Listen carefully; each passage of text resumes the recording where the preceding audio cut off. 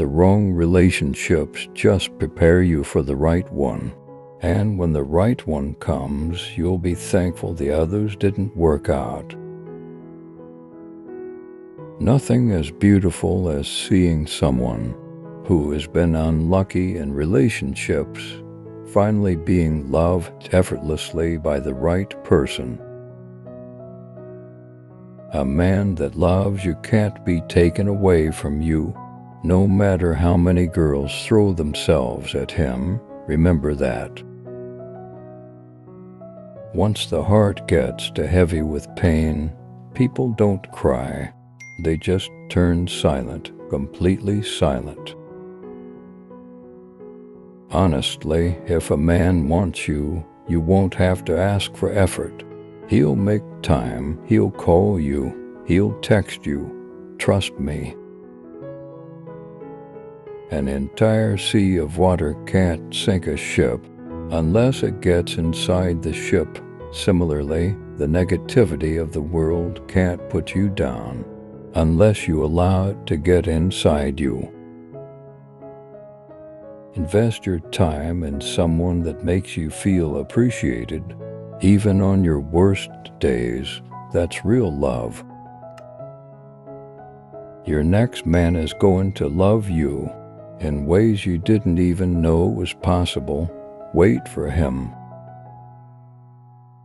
With the right person, you don't have to work so hard to be happy. It just happens. Imagine being with someone who makes you believe in love again, someone who treats you right this time. A real man never insults his lady in front of anyone, not even as a joke.